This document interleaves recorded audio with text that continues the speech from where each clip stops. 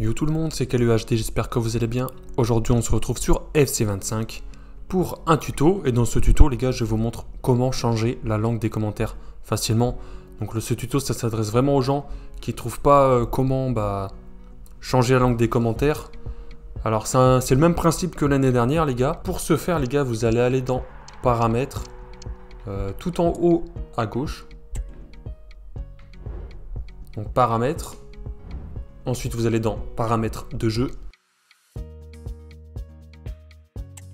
Une fois que vous êtes ici, vous faites RB ou euh, R1, ça dépend, pour aller vers la droite, comme vous pouvez le voir sur l'écran, et vous allez dans audio.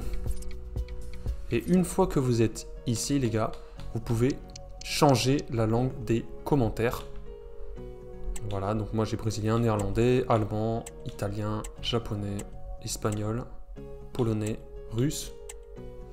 Euh, et on peut activer le commentateur au bord du terrain. Euh, ça dépend un petit peu de la langue euh, choisie. on a également arabe, chinois simplifié, coréen, anglais.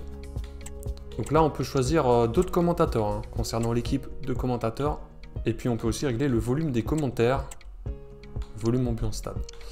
Voilà, vous faites retour et ça se sauvegarde automatiquement, les gars. Sinon, la deuxième option, c'est directement...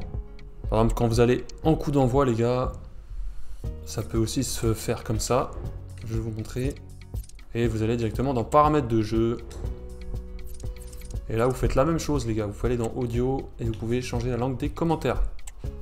Voilà, j'espère que ce tuto vous a aidé. Si c'est le cas, n'hésitez pas à liker et à vous abonner. Et moi, je vous dis à la prochaine. Ciao, ciao